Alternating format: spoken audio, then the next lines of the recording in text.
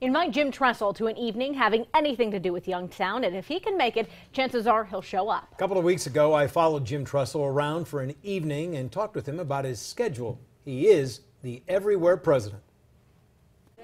It's 6 o'clock on a Monday evening. Youngstown State President Jim Tressel arrives at the Chestnut Room of Kilcawley Center to say a few words at the white coat ceremony for the School of Nursing. She was grateful that I have another event at 7 o'clock and I can't talk too long. And he didn't talk long. With his coat on and briefcase in hand, he was out the door. But I like to get on the treadmill and watch the news. Right. 20 minutes later, we followed Tressel into Canfield's Mahoning County Career and Technical Center, where he spoke at the All County Board of Education annual meeting. Just another evening in the life of Jim Tressel.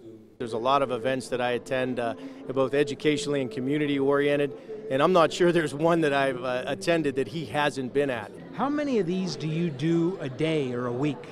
Oh, I don't know. It, probably too many, but uh, uh as many as I can fit in. Starting with the day he signed his contract, May 12, 2014, Jim Tressel has been everywhere on campus, attending board meetings, announcing new projects, meeting with faculty, planting trees, handing out drinks, and overseeing graduations. When the YSU Rock was painted with ISIS graffiti, he showed up and helped repaint it. When the university held its football camp, there was Tressel holding for extra points a youth football all star game at the Watts Center. Tressel was dressed in his YSU letter jacket. During the ALS challenge, the president took a bucket. You know, I felt when I was a coach that we needed to do more than just coach football. And I feel the same uh, as being the president that there are certain things that we do on a day to day basis and we are responsible for. But then uh, I think we're responsible for being part of the entire team, if you will, of the region.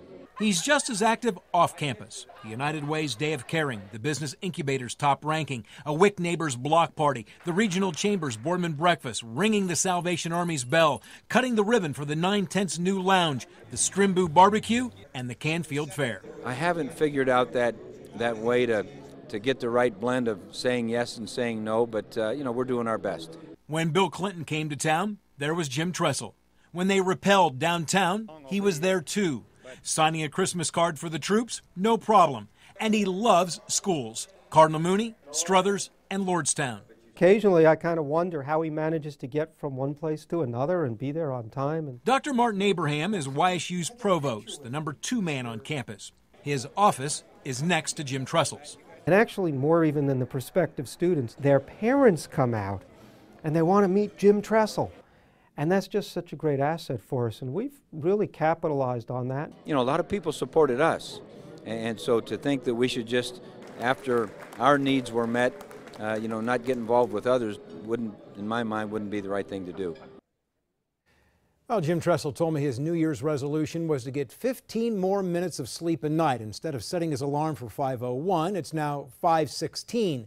I asked him if he was at the office by 8 o'clock, and he told me no, well before that.